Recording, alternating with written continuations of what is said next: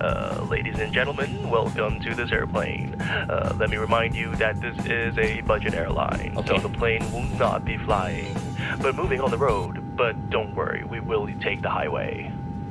Uh, please fasten your seatbelt so that in the event of a plane crash, we can easily identify your bodies. Uh, some expensive bad food with a smell oh so bad your neighbors will hate you will be served.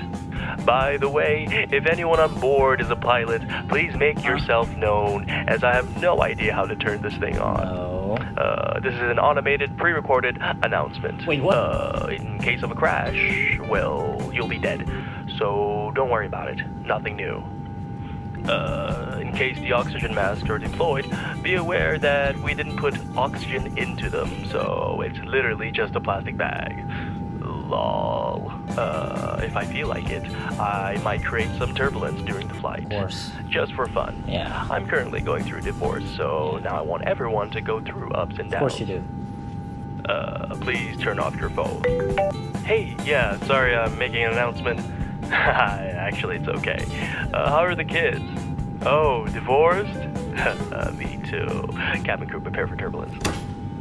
Uh, we will be preparing our duty-free products Ooh. momentarily. Well, I'm not, because I'm off duty. Cabin crew, prepare for turbulence. In case of a turbulence, cabin crew prepare for turbulence. Uh, in case of a crying baby on board, uh, choose your seats more wisely next time. He's talking to you We have just landed. Please remain seated until the aircraft has come to a full stop. Okay. Uh, and now an announcement for the Chinese people on board. 各位男人的上船要跑到到，连吃不把吃你们再不做，谢谢。 Thank you.